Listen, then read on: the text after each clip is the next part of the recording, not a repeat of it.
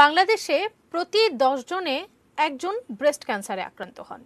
বুকের দুধ পান করানোর মাধ্যমে ব্রেস্ট ক্যান্সার থেকে রক্ষা পাওয়ার পাশাপাশি ঠিক সময়ে চিকিৎসা নিলে নব্বই ভাগ ব্রেস্ট ক্যান্সার রোগীকে সুস্থ করা সম্ভব, জানিয়েছেন বিশেষজ্ঞ চিকিৎসকরা।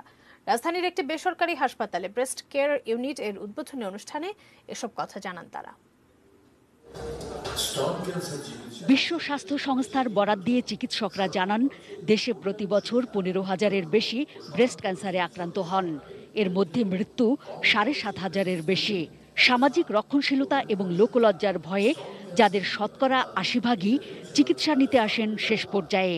এ ব্যাপারে জনসচেতনতা বাড়াতে ওয়ান স্টপ সেন্টার চালু করল আনোয়ার খান মডার্ন হাসপাতাল।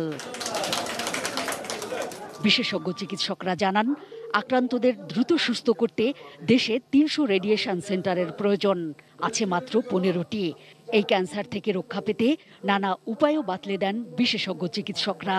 ব্রেস্ট ফিডিংকে বলি, যেটা ব্রেস্ট ক্যান্সার যাতে না হয় তারই প্রথম টিকা। যারা ব্রেস্ট রীতিমতো খাওয়ায়, তাদের ব্রেস্ট ক্যান্সার হয় না, তাদের ওভারিয়ান ক্যান্সার হয় না। আইকিউ বেশি হয় এ ব্যাপারে গণসচেতনতা বাড়ানোর পাশাপাশি সাশ্রয়ী মূল্যে সেবা দেয়াই লক্ষ্য, উদ্বোধনী অনুষ্ঠানে জানালো কর্তৃপক্ষ। মানুষগুলোকে জানাতে চাই, ক্যান্সার হলেই যে মৃত্যু, তা নয়। সব মিলিয়ে একটি প্যাকেজ করেছে সর্বোচ্চ এবং সর্বনিম্ন। সর্বনিম্ন হলো পাঁচশো, সর্বোচ্চ প্রায় পনেরো হাজার কত।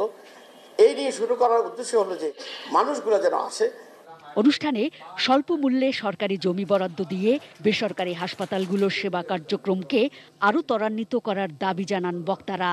হাজার হাজার কোটি টাকা লুটপাট হয়ে যাচ্ছে, হাজার হাজার কোটি টাকা জমি নিয়ে খেলা হচ্ছে, কোথায়? আজকে হাসপাতাল তৈরি করবার জন্য কোনো রকম কোনো কিছু আমরা দেখতে পেয়েছি, আমরা দেখি নাই। এই যে বেসরকারি হাসপাতালগুলো যারা আজকে চিকিৎসা প্রদান করে আমাদেরকে পাশে দাঁড়িয়েছে, তাদের জন্য বিশেষ অঞ্চল গড়ে তোলে বা বিশেষ জায়গা প্রদান করে সরকারিভাবে স্বল্প মূল্যে তাদেরকে জমি বরাদ্দ দেওয়ার জন্য আমি একটা দাবি করতে চাই। Mahfuza Muslehi ATN news Dhaka